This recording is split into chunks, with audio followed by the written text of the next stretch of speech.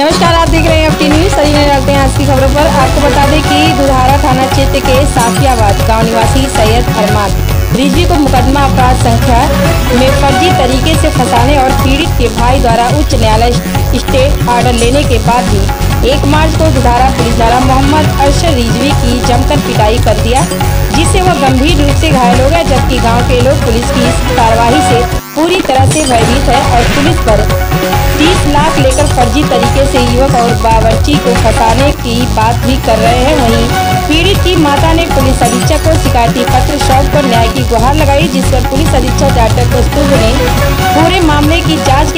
क्षेत्राधिकारी को नामित कर दिया। वहीं गाँव के भयभीत ग्रामीण और दुधारा थानाध्यक्ष को हटाने के साथ ही दोषी ग्रामीण और पुलिस के खिलाफ कार्रवाई करने की मांग कर रहे हैं।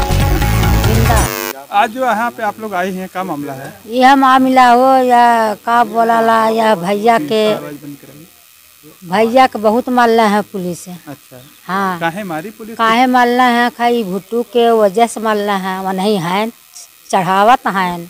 मारे के। क्यों वो ऐसा कर रहे हैं? अब वो करत है दुश्मनाई की वजह से। तो क्या पुलिस उनसे मिली हुई है? हाँ मिले भी हैं पुलिस। दलाल हो रुपया खाता है माने अब इसको लेकर के आगे क्या करेंगे अब यह आगे करेंगे कि अब ये कौनो आगे बढ़ के जा। मन है मन का कराई भाई हो हो चाहिए। ये गाँव रामा शर्मा। आप जो यहाँ पे एकत्रित हैं सभी लोग क्या मामला एक- के इकतीस हैं सर इस गाँव में एक दलाल है जो वो दलाल के ज़रिए उनके पटीदार हैं उनको फर्जी केस में बजाया जाता है। हम मौके पे एक हफ़्ता हुआ इस गाँव में थे। दरवाज़ा बाड़ी हम जात के बढ़े हैं लकड़ी नाप रहे थे। मौके पे दरोगा जी ने एसआई ने यहाँ आए बेचना करने। हमसे पूछे दो लोग यहाँ का भूतपूर्व प्रधान थी कहे, हमने कहा, सुदामा, यहाँ का कुछ जानते मैंने कहा, सर हाँ ये जात के सिया हैं। उनको बड़ी बुरी तरीक़ा से मारा गया। जो कि आप जहाँ मुआयना कर रहे हैं, उस ज़मीन भुट्टू रिजवी के दलाल के ज़मीन में है, जानवर। और फर्जी चार छा कसाई को पकड़ के ले गए। यह दोनों भाई भाई को गाय और बैल के तरीका पीटा गया। पीटने के बाद रानी के सगरे से छोड़ दिए। छोड़ने के बाद हम लोग सुने जवार के जो कि हम लोग जानते आते हैं इस गाँव में और बराबर यही रोजी रोटी है। एक दलाल की वजह से यहाँ के गाँव और जवार परेशान है। आपको जो पुलिस ने फर्जी फंसाया था पूरा क्या मामला था? किस बात को लेकर फंसाया गया है? ये हमारे पटीदार जो हैं थाने के हिस्ट्री शीटर हैं अली अब्बास उर्फ़ भुट्टू रिजवी नाम है। उनसे हमारी पुरानी रंजिश चल रही है ज़मीनी विवाद की वजह से। तो उन्होंने गाँव में हमारे मतलब मार्च में फरवरी की 16 फरवरी के कसाई मोहल्ले में शादी थी। तो उसमें ना गौ मांस पका रहे थे सब। तो उन्होंने ना मुखबरी द्वारा करवा के पकड़वाए, साढ़े तीन लाख रुपए दिए, जिसके घर पे शादी थी, उनको एक लोग को मुस्लिम बनाए, बाकी उसमें बावर्ची लोग को सबको मुस्लिम बना दिया, उसमें मेरा भी नाम जब्त करवा दिए। और ना तो मैं बावर्ची का काम करता हूँ, ना कसाई का, हम लोग शिया समुदाय के हैं। और पुरानी रंजिश के कारण हमको फंसाए हैं। इसकी एप्लीकेशन हमारे भाई सैयद मोहम्मद अरशद रिजवी जो हैं, वो दे रहे थे, पैरवी कर रहे थे।